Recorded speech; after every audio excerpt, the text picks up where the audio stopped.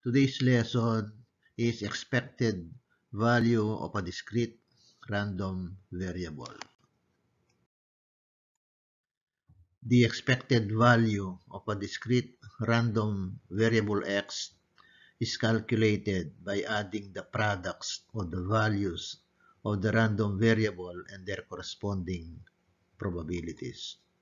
The formula is the expected value of a discrete random variable x is equal to the sum of x times the probabilities of x.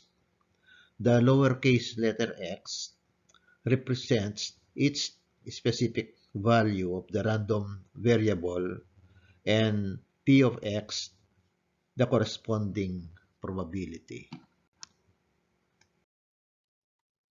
Example, Find the expected value of the following probability distribution. In this probability distribution, the specific values of the random variable represented by the lowercase letter x are 1, 2, 3, 4, and 5.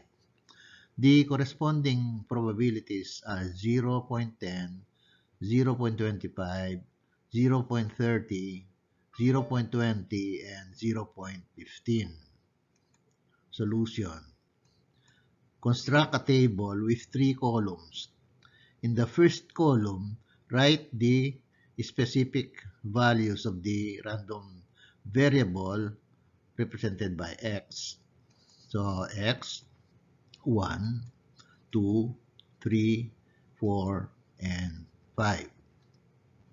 In the second column, write the corresponding probabilities. 0.10 for 1, 0.25 for 2, 0.30 for 3, 0.20 for 4, and 0.15 for 5. In the third column, multiply the values of x by the corresponding probabilities. So, 1 times 0.10 is 0.10. 2 times 0.25 is 0.50. 3 times 0.30 is 0.90. 4 times 0.20 is 0.80. 5 times 0.15 is 0.75 and then add. The sum of x times the probabilities of x is equal to 3.05.